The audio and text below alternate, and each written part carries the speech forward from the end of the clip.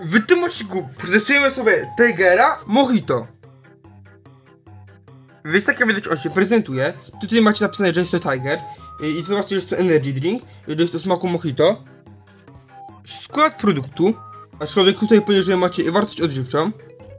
Zobaczcie, że środku jest 250 ml i zobaczcie, że produkt się przetwarza i że po wypiciu powinniście tą puszkę wyrzucić. Aczkolwiek tutaj macie kod kreskowy.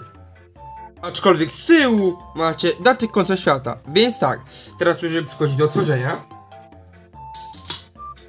I nalania produktu.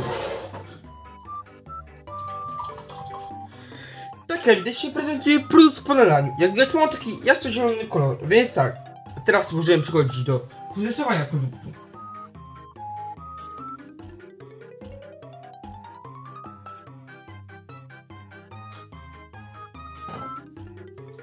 No powiem tak, jest to naprawdę smaczny. Ma taki słodkawy posmak, y, jest taki lekko cytrusowy.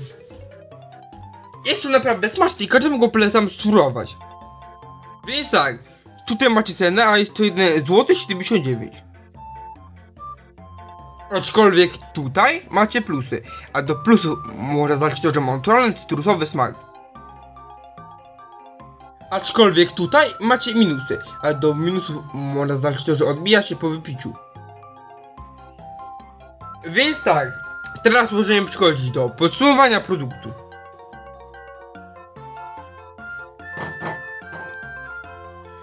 Podsumowując, produkt zasługuje na dużą, ale zasłużoną ocenę 7 na 10, ponieważ jest naprawdę smaczny i go polecam spró- spróbować. I na koniec i pa pa!